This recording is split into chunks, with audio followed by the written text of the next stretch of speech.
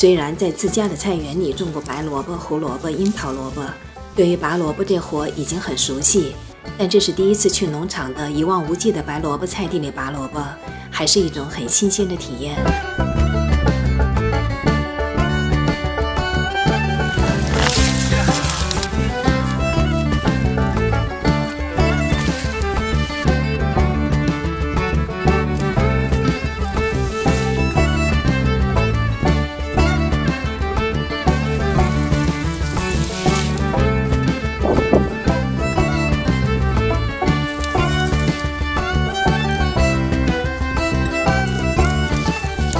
拿着一颗又一颗沉甸甸的白萝卜，欣喜之余，我的心里一直充满了疑问。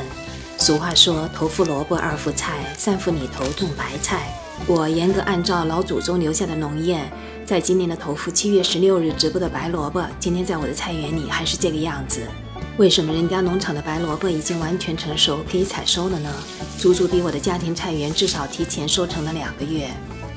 术业有专攻，对于种菜，我只能算是刚刚入门，需要不断学习的东西太多。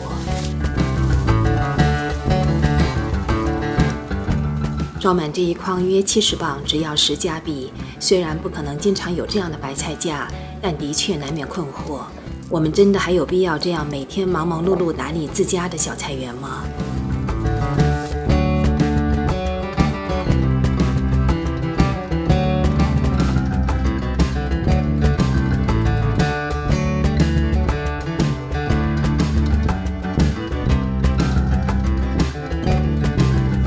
卜的心情是非常愉悦的，三十几个大萝卜清洗起来也是一个不小的工程。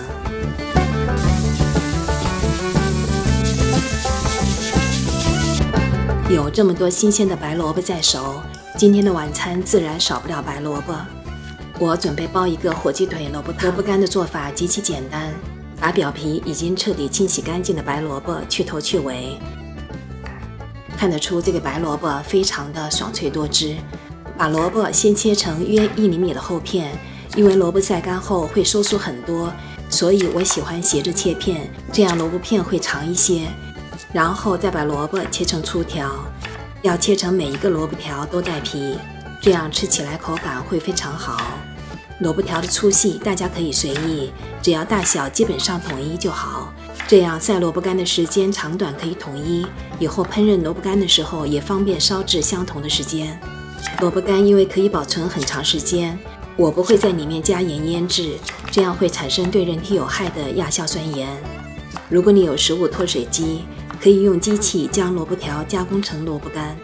我是先将阳台的地板冲洗干净、晾干后，铺上一张干净的棉布，把萝卜条平铺上去，晒至四五天，直至萝卜里的水分蒸发，变成干燥的萝卜干，然后装入保鲜袋里密封，室温保存即可。